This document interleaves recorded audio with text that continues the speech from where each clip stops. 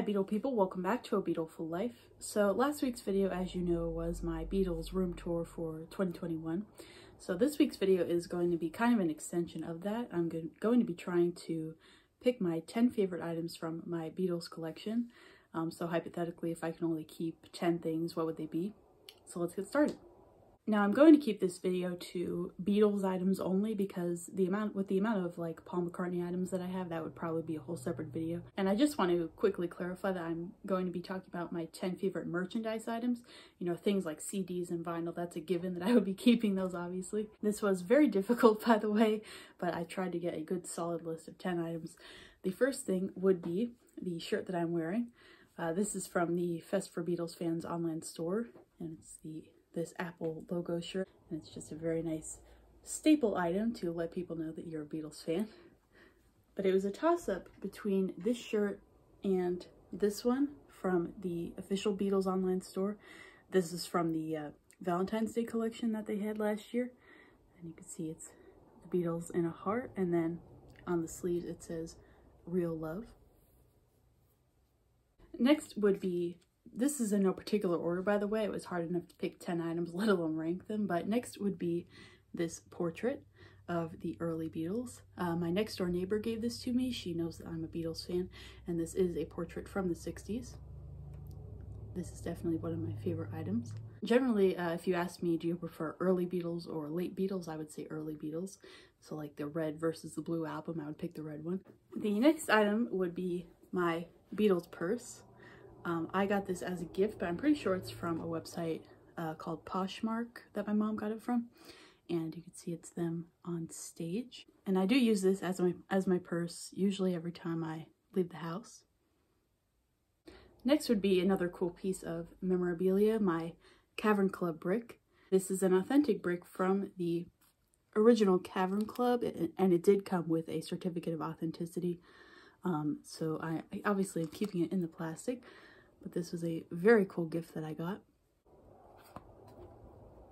Now this item is kind of a little bit cheating on what I said earlier because it's like a combination Beatles and Paul McCartney item. But this is my denim jacket and I'll show you the front and back. So on the front is this patch. It says Beatles 67. It's from Target and then a Rubber Soul pin that was sent to me by a subscriber of mine. This side we have the Paul McCartney Egypt Station pins that were available on his website, um, I think right around the time that the album came out. There's a For You pin, Come On To Me, and then it says Paul McCartney and Egypt Station. And then here's a Beatles logo pin and a Sgt. Pepper album cover pin. And then on the back, we have a bunch of patches. So I'll, I'll just go uh, one by one on each of these. This is also from Target, and it came in a set with a couple other patches.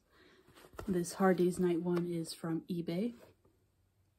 And then a Sgt. Pepper drum patch that was also from Target. And then a Freshen Up Tour 2018 patch. I got this in a set from uh, Paul's website. And then this Paul patch in the middle here. And then, and then the uh, rest are actually Paul. There's another Freshen Up Tour patch here. And then a Ram patch and then a wings patch over here. And those are all part of the same set uh, from his website. So yeah, this is definitely another favorite item of mine. And then next would be my Rubber Soul pillow.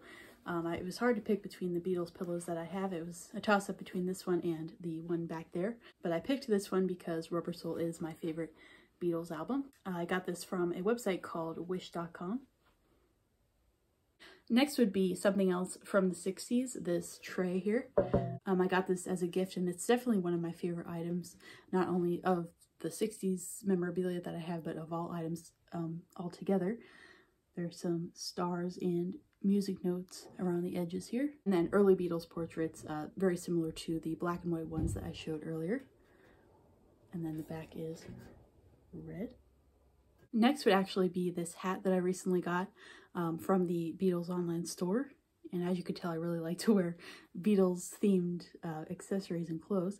Um, this is a winter hat with the Beatles logo on the front and a pom-pom on top.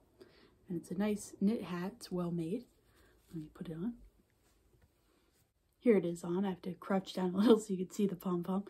But here it is. Next up would be my Lego Yellow Submarine. Uh, this is just a really cute display piece and I had a lot of fun building this uh, when I got it for Christmas. And I have the little Lego Beatles also. The only thing with these is that these little pieces tend to fall out of their hands quite easily, um, so I have to be very careful when handling these. But this is a very cute set. And then lastly, I'm going to have to back up to show this one, but this is my a Hard Day's Night blanket. And this is one of the first Beatles items that I ever got, I think actually back in 2009. So I guess you could say that's when I started building my Beatles collection. So let me back up so you could see it.